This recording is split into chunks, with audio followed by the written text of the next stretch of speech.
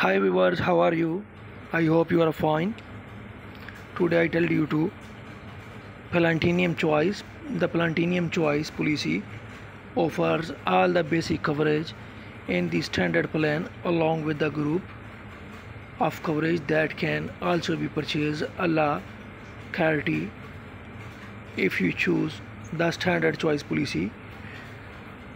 Dwelling replacement cost this coverage provides up to 30% more in dwelling coverage to repair or replace your home after a covered loss. Personal property replacement when you when your electronic furniture clothing and other items need to be replaced after a covered claim. They will be replaced with brand new items without factoring in depreciation liability and medical payments coverage.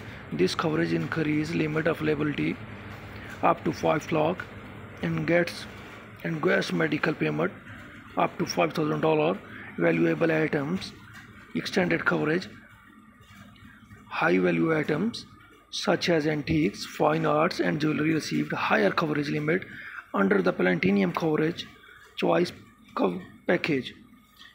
Business property coverage if you have a business if you have business property at home this coverage will be up to $5000 of damages. This amount decreases to $2000 if your business property is damaged outside of your residence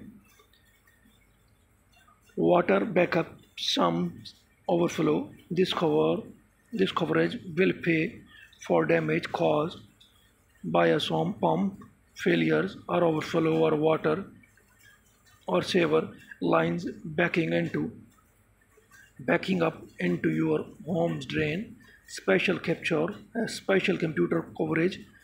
This coverage provides border limits electronic like your tv tablet laptop smartphone and other smart devices.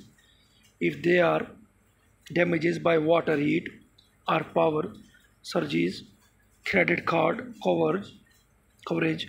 This coverage will have to pay up to 5000 if your credit card is stolen or you have fraudulent charges.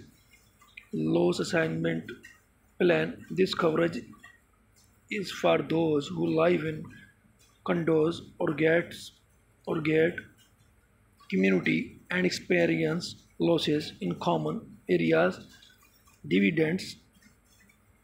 Amica also offer a dividend policy in some state which return between 5% to 20% of your annual premium each.